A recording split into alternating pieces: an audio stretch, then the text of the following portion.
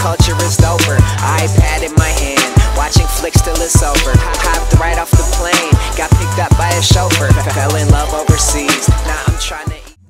What is going on guys, it's OGZX for the win here and today I have a brand new glitch for you guys on Die Rise Zombies. This makes you fully invincible and also allows you to kill all of the zombies. What you want to do is have one player come into this spot that I go into, you want to line yourself up right where I do and once you're in this position you can have every other player in your game come onto this platform and they will be fully invincible to all of the zombies and they will be able to kill them.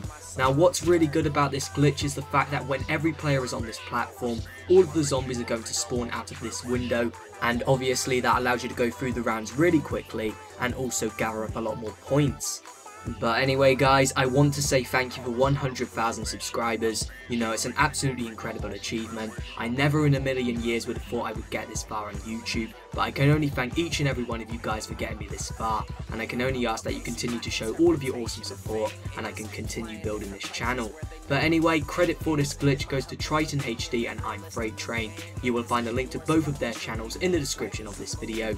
And if we can get 1,500 likes, that would be absolutely amazing. Don't forget forget to leave a comment letting me know what you think of this glitch. And it's been OGZX for the win.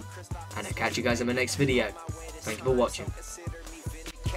Uh, to Cam, I am who I am. If we ever smoke together, then consider us fam. If you still ain't got it poppin', tell me